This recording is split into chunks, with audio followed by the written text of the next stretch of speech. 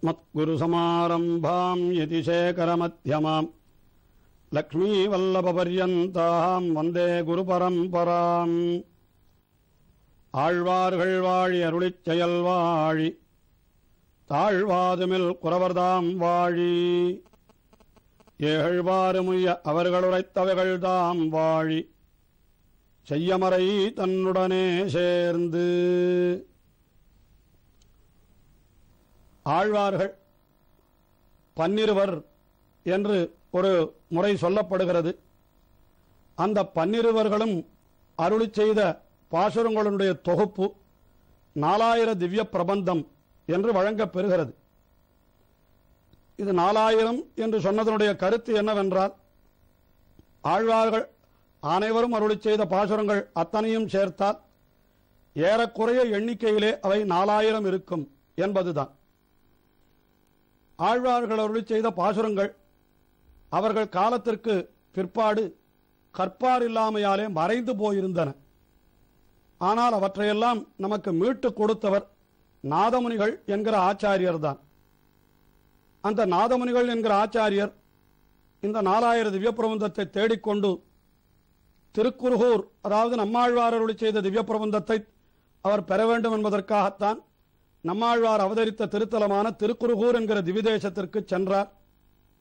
அங்கே நம்மாழ்வார் திருமுன்பே அந்த திருப்புலியாழ்வார் என்கிற திருப்புளிய மரம் அதனுடைய திருமுன்பே இருந்து கொண்டு கண்ணினுன் சிறுத்தாம்பு என்கிற திவ்ய பிரபந்தத்தை பன்னிரண்டாயிரம் தடவை அவர் ஜபித்தபடியினாலே நம்மாழ்வார் அவருக்கு பிரத்யட்சமாகி நாலாயிரம் பாசுரங்களையும் கொடுத்தார் என்று இப்படி வரலாறுகள் தெரிவிக்கின்றன. அப்படி பெற்ற அந்த பாசுரங்களை எல்லாம் வகைப்படுத்தி தொகுத்தவர் நாதமுனிகள். அதாவது முதலாயிரத்திலே இன்னின்ன பிரபந்தங்கள் இரண்டாம் ஆயிரத்திலே மூன்றாம் ஆயிரத்திலே நான்காம் ஆயிரத்திலே என்று அந்தந்த பிரபந்தங்களை அந்தந்த ஆயிரத்திலே சேர்த்தவர் நாதமுனிகள் என்று சொல்லுகிறார்கள். அந்த கிரமத்திலே முதலாயிரத்திலே திருப்பாணாழ்வார் அருளி செய்த அமலநாதிபிரான் என்கின்ற திவ்ய பிரபந்தத்திற்கு அடுத்தபடியாக மதுரகவி ஆழ்வார் அருளி செய்த கண்ணினுன் சிறுத்தாம்பு என்கிற திவ்ய பிரபந்தம் இடம் பெறுகிறது. அதாவது முதலாயிரத்திலே மொத்தம் பத்து திவ்ய பிரபந்தங்கள் அமைந்துள்ளன. அதிலே பத்தாவது திவ்ய பிரபந்தமாக இந்த கண்ணினுன் சிறுத்தாம்பு என்கிற திவ்ய பிரபந்தம் தொடங்க பெறுகிறது. இந்த கண்ணினுன் சிறுத்தாம்பு என்கிற திவ்ய பிரபந்தம் அது இடம்பெற்றிருந்து அதற்கு ஏன் அப்படி பெயர் ஏற்பட்டது என்றால் அது அப்படி தொடங்கப்படுகிறபடியினாலே கண்ணினுன் சிறுத்தாம்பினால் என்று தொடங்குகின்றபடியினாலே அதற்கு கண்ணினுன் சிறுத்தாம்பு என்றே திருநாமமாக அந்த திவ்ய பிரபந்தத்திற்கு ஆகிவிட்டது. இந்த கண்ணினுன் சிறுத்தாம்பை மதுரகவியாழ்வார் எப்படி அருளி செய்தார் என்று அந்த வரலாறும் கூட நம்முடைய குரு பரம்பரை முதலான நூல்களிலே தெரிவிக்கப்படுகின்றன. முன்னால் நாம் நம்மாழ்வாருடைய வரலாற்றையும் சற்று சேர்த்து பார்க்க வேண்டும். அதாவது திருக்குறுகூரிலே இருந்த காரி என்றும் உடையனங்கையார் என்றும் இரண்டு பேர் அதாவது தம்பதிகள் இருந்தார்கள் கணவனும் மனைவியுமாக. அவர்களுக்கு நெடுநாள் குழந்தை இல்லாமல் இருந்தது.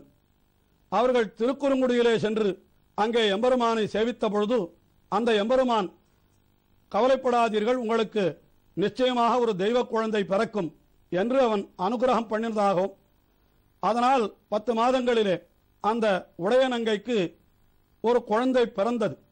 அதாவது அந்த குழந்தை மற்ற குழந்தைகளைப் போல பிறந்தவுடனே அழுவது சிரிப்பது முதலான காரியங்கள் எதையும் செய்யாமல் அப்படியே கட்டை போலே மாறாமல் இருந்ததாம் உடனே இவர்கள் இந்த குழந்தையை எப்படி வளர்ப்பது என்று தெரியாமல் அந்த திருக்குறுகூர் என்கிற திவ்ய தேசத்திலே திருக்கோயிலுக்குள்ளே இருந்த ஒரு புளிய மரத்தினுடைய ஒரு பொந்திலே அந்த குழந்தையை விட்டு விட்டு சென்று விட்டார்களாம். அதாவது அழுவது சிரிப்பது இல்லாமல் மாறாமல் இருந்தபடியினால் அதற்கு மாறன் என்றே பெயர் ஏற்பட்டு விட்டதாம் அந்த இடத்திலேயே எம்பெருமானுடைய அருளாலே அது எம்பெருமானுடைய அருளையே பாலாகவும் எம்பெருமானுடைய திருக்கண் நோக்கத்தையே ஆகாரமாகவும் கொண்டு அந்த குழந்தை வளர்ந்து வந்தது.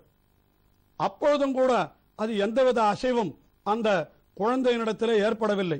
இப்படியாக ஒரு ஆண்டு இரண்டு ஆண்டு அல்ல பதினாறு ஆண்டுகள் கழிந்து விட்டன. இது ஒரு புறம்.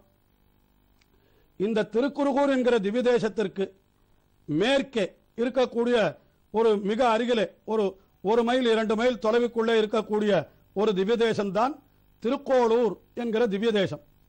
அந்த திருக்கோளூர் என்கிற திவ்யதேசத்திலே அந்தனர் அந்தணர் குலத்திலே அவதரித்தவர் மதுரகவி என்கிறவர். அவர் மிக இனிமையாக பாடல்களை பாட வல்லவராகையினாலே அவருக்கு மதுரகவி என்றே பெயராக அமைந்திருக்கலாம். அவருடைய வேறு பெயர்கள் இயற்பெயர்கள் ஏதேனும் உண்டா என்பது நமக்கு வரலாறுகளிலே தெரிவிக்கப்படவில்லை. அப்படிப்பட்ட அந்த மதுரகவி என்பவர் வடதேச யாத்திரை மேற்கொண்டார். அதாவது வடக்கே இருக்கக்கூடிய திருத்தலங்களை எல்லாம் சேவிக்க வேண்டும் என்று அவர் புறப்பட்டு சென்றார். அப்பொழுது வடதேசத்திலே அயோத்தியை முதலான திவ்ய தேசங்களை அவர் சேவித்துக் கொண்டிருக்கையிலே ஆகாசத்திலே ஒரு பெரிய ஒளி தெரிந்ததாம். பேரொளி அதாவது ஒரு பெரிய நகரமே பற்றி எறிவது போல ஒரு பேரொளி அவருடைய கண்ணுக்கு புலப்பட்டதாம். சற்று உற்று பார்த்தால் அந்த பேரொளி எங்கோ அப்படி நகர்ந்து செல்வது போலே தெரிந்ததாம். உடனே இந்த மதுரகவி ஆழ்வார் அதாவது மதுர கவிகள் அப்பொழுது ஒரு ஆழ்வாராக ஆகவில்லை என்றே கூட சொல்லலாம். அந்த மதுர கவிகள் அந்த ஒளி எங்கே செல்லுகிறதோ அதையே பின்பற்றி கொண்டு இவரும் நடந்து சென்று கொண்டே இருந்தார். கடைசியிலே அது எங்கே வந்து முடிந்தது என்றால் இந்த திருக்குறுகூரிலே அதாவது மதுரகவி ஆழ்வார் அவதரித்த திருக்கோளூர் அங்கே அவருக்கு தெரியவில்லை.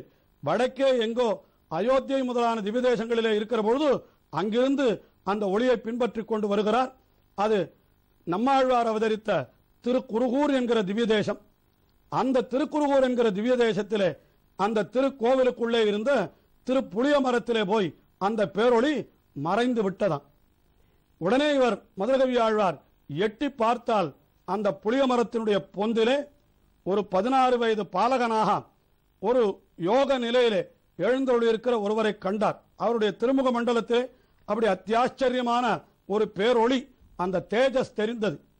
ஆயினாலே இவர் மிகவும் உயர்ந்த ஞானமுடையவர் என்பதை ஊகித்தார். ஆனாலும் அந்த மரத்திலே எழுந்தருளி இருக்கிறவர் அந்த மரத்தினுடைய பொந்திலே எழுந்தருளி இருந்த அவர் அவர் அசைதல் கண்ணை சிமிட்டுதல் என்று எந்த காரியமும் செய்யாமல் ஒரு சிலை போல இருந்தபடியினாலே இவருக்கு உடலிலே அசைவுகள் இருக்கிறதா? இவருக்கு நல்ல ஞானம் இருக்கிறதா? என்று பார்க்க வேண்டும். என்பதற்காக அந்த மதுர கவிகள் ஒரு சிறிய கல்லை எடுத்து அவருடைய அ- அருகிலே வீசினார். இத்தனை நாள் கண்களையே திறக்காமல் அந்த பொந்து பொந்திற்குள்ளே வீற்றிருந்தார். அவர்தான் நம்மாழ்வார். மாறன் என்றும் சடகோபன் என்றும் சொல்லப்படுகின்ற நம்மாழ்வார். அவர் இன்றைய தினம் அந்த மதுரகவிகள் எதிரிலே வந்து நின்றவுடனே அப்படி மெல்ல கண்ணை திறந்து அந்த மதுரகவிகளை பார்த்தார். உடனே மதுரகவிகளுக்கு புரிந்துவிட்டது. இங்கே எழுந்தருள் இருப்பவர் ஒரு சிலை அல்ல. இவருக்கு உடம்பிலே அதாவது சைத்தன்யம் அறிவு இருக்கிறது என்று தெரிந்து கொண்டார். இருந்தாலும் இவருடைய ஞானம் எப்படிப்பட்டது என்று தெரிந்து கொள்ள வேண்டுமே என்பதற்காக அவரை பார்த்து ஒரு கேள்வி கேட்டாராம். செத்தத்தின் வயிற்றில் சிறியது பிறந்தால் எத்தை தின்று எங்கே கிடக்கும் என்று ஒரு கேள்வியை கேட்டாராம். அதாவது இதற்கு மிக விரிவான விளக்கங்கள் எல்லாம் சொல்லியிருக்கிறார்கள். இருந்தாலும் சுருக்கமாக நாம் சொல்ல வேண்டும் என்றால் செத்தத்தின் வயிற்றில் என்றால் இந்த அச்சேதனமான உடலுக்குள்ளே சிறியது என்னால் ஆத்மா அது பிறந்தால் இந்த உடலுக்குள்ளே ஆத்மா வந்து சேர்ந்தால் அது எத்தை தின்று எங்கே கிடக்கும் எதை அனுபவித்துக் கொண்டு எங்கே இருக்கும் என்பதுதான் அந்த கேள்வியினுடைய சுருக்கமான விளக்கமாக பொருளாகும். உடனே நம்மாழ்வார் அந்த திருப்புளியம் பொந்திலே இருந்தவரான நம்மாழ்வார் சுருக்கமாக அத்தை தின்று அங்கே கிடக்கும் என்றாராம். அந்த உடலுக்குரிய சுகதுக்கங்களை அனுபவித்துக் கொண்டு அங்கேயே இருக்கும் என்றுதான் அவர் விடையளித்தாராம். இன்னும் பலவிதமான பொருள்கள் இதற்கு சொல்லப்பட்டிருந்தாலும் இப்பொழுது நாம் சுருக்கமாக பார்த்தோம். இப்படிப்பட்ட விடையை கேட்டவுடனே மதுரகவிகளுக்கு மிகவும் ஆச்சரியமும் ஆனந்தமும் உண்டாயிற்று. நமக்கு நல்ல குரு கிடைத்து விட்டார் என்று நினைத்தவர் அப்படியே வேறற்ற மரம் போலே அங்கேயே விழுந்து அந்த நம்மாழ்வ அவரை அந்த திருப்புளிய மரத்திலே இருந்த ஆழ்வாரை விழுந்து வணங்கினார்.